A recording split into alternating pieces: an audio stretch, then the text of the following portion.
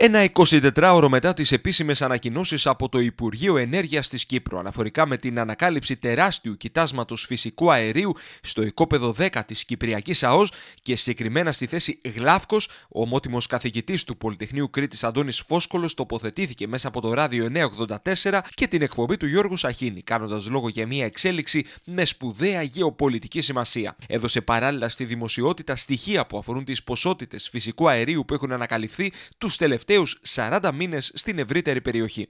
Εάν αθροίσουμε το ζόρ, το οποίο είναι 30 τρισεκατομμύρια, το κοίτασμα της Καλυψός 7 και το κοίτασμα του Γλάφκου 5, σύνολο 42, 3 εκατομμύρια κυβικά πόδια, αυτό μεταφράζεται σε ισοδύναμα πετρελαίου στα περίπου 7,5 δις φαρέλια πετρέλαιο.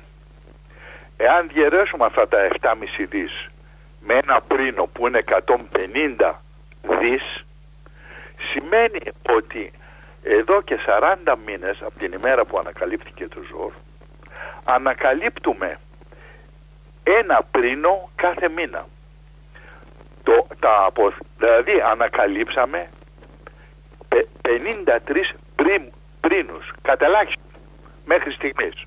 Ο σπουδαίος επιστήμονας, ο οποίος είναι και μέλος της Καναδικής Ακαδημίας Γεωλογικών Ερευνών, αναφέρθηκε και στα πολλαπλά ωφέλη της σπουδαίας ανακάλυψης στη θέση γλάφκος για την οικονομία της Κύπρου και για την τόνωση της εργασίας. Σύμφωνα με τον Αντώνη Φόσκολο, οι σπουδαίες ανακαλύψεις στην Κυπριακή ΑΟΣ ισοδυναμούν με 100.000 νέες θέσεις εργασίας. 50 πριν ε. σημαίνουν αυτή τη στιγμή ο ένας πρίνος απασχολεί 2.000 άτομα ε, 450 άτομα στο πρωτογενή τομέα και περίπου 1.600 στο δευτερογενή, κάθε πρίνος σημαίνει 2.000 θέσεις εργασίας. 50 πρίνοι σημαίνουν 100.000 θέσεις εργασίας μέσα σε 40 μήνες. Όπως τονίζει ο Αντώνης Φόσκολο, η Ελλάδα με την Κύπρο θα είναι σε θέση σε λίγα χρόνια να στηρίξουν ενεργειακά την Ευρώπη, αλλάζοντας τα μέχρι σήμερα δεδομένα. Μάλιστα, χαρακτήρισε και ως ανάσταση της οικονομίας στην έναρξη των ερευνών στα οικόπεδα εντός της ελληνικής ΑΟΣ. Υποστήριξε ότι τα ωφέλη από τα κοιτάσματα φυσικού αερίου θα είναι μεγαλύτερα από τα αντίστοιχα της Κύπρου. Ο κορμός και το κεφάλι της Μεσογειακής Ράχης είναι στην Ελλάδα. Ξεκινάει από τη Δυτική Πελοπόννησο και τελειώνει ακριβώς κάτω από, το, από την, ε, την ύβωση του Ερατοσθένη.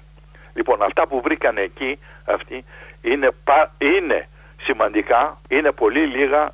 Ο κύριος κορμός που έχει τα πολλά κοιτάσματα είναι στην Ελλάδα. Και αυτό μας το είπε και η PGS. Θα είναι η, η ανάσταση της ελληνικής οικονομίας.